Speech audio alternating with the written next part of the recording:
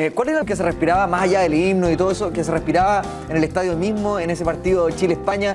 Porque, eh, digámoslo, estamos con una actitud distinta a todos, pero igual en algún momento surge esto de, pero es que no le hemos ganado nunca a España, es que las estadísticas se imponen. No, Eh, venía una.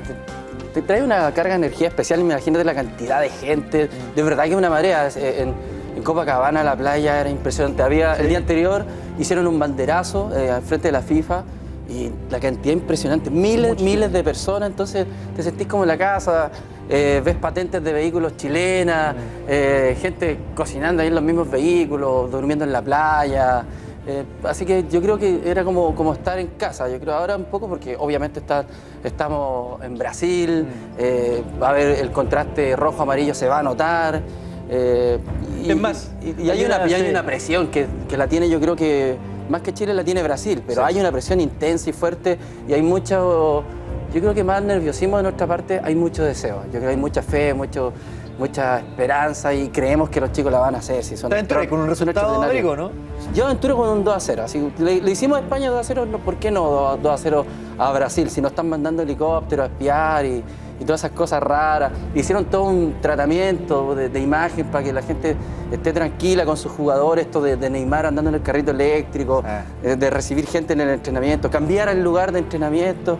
Hay una preocupación. Yo creo por que está parte ellos. preocupado, ¿ah? Sí, mucho.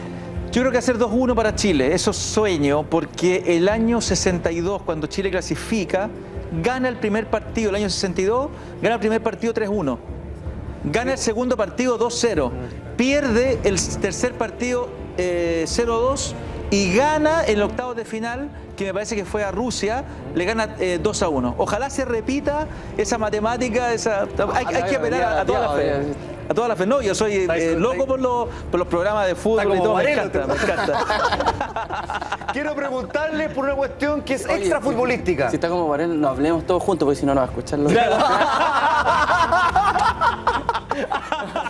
Oye, no escucho esta weá, weón.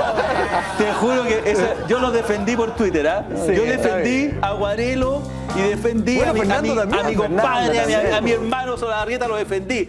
Porque Fernando no se salió de madre, dijo, oye, esta weá no me funciona. Es- y se fue a la mierda el primer minuto y el otro dice, puta, si hablan cinco weones no entiendo. Y por de tres, cuatro garabatos ya los ponen como ya los hijos de Pati. Pero es como hablamos Es todos. un Si escándalo. tú estás en una prueba de sonido y no escucháis, ¿qué es? Prenden la tele a las 12 del día y escuchan lo mismo. Entonces Claro. no encuentro cuál es, es tanto el, Aparte el alboroto. primer día de transmisión mundial, donde no solamente están estos dos canales, sino que hay un montón Oye, y de ese canales. un chaqueteo que, que, que- que le damos de nuestra madre patria que es España, porque también me pareció muy mal. Ex que- madre patria. Claro, ex. ex madre patria. Pero que en su minuto eh, una generación de jugadores Ahora que durante seis años lo gane todo Sí, y los sean tan lapidarios en la prensa con, con- con- con el equipo de España, con la selección de España que ganaron dos veces la Eurocopa y entre medio el Campeonato del Mundo, además están en liga que uno gana la Copa. eh, por el Real Madrid o por el Barcelona, era, fueron bastante duros. Y en eso los chilenos mal copiamos los españoles, yo creo que tenemos que ser un poquito más querendones. Hoy día tenemos un equipo que en el año 2010 era una ilusión de jugadores que estaban llegando a Europa, que hoy día es una realidad. Hoy acaba de firmar eh, Claudito Bravo por, por Barcelona. Por Barcelona. Por, por eso Eh, yo digo 2 a 0. Porque tiene que yo creo su- que su yo creo que tenemos todo lo futbolístico para ganarle a Brasil, a este Brasil ¿No sobre les da miedo lo extra futbolístico, lo que dicen de la presión de la no, FIFA? porque el árbitro es inglés y el árbitro inglés, él, no me acuerdo el nombre, pero es un muy buen árbitro. Yo escuché, no sé si es un rumor o no, o un dato, ayúdenos los amigos de Twitter también. El, el- el profe que va a estar arbitrando mañana es inglés, es el mismo que arbitró. El su- mismo la- de la octava pasada. De Sudáfrica, el mismo. de Sudáfrica. Es el mismo. Y es muy buen árbitro, ¿ah? Es un buen árbitro. La vez pasada no lo robaron, arbitró bien. Ojo. No, pero hay, hay una, hay una carga, ¿sí? el, el- el anfitrión. Claro. Eh, Imagínate eh, la amenaza, La de inversión de los favela, estadios. sí, una cosa tremenda. Chile La está. favela. La me, soplan, me soplan que se llama, ¿cómo? Howard. Howard. Howard Beef.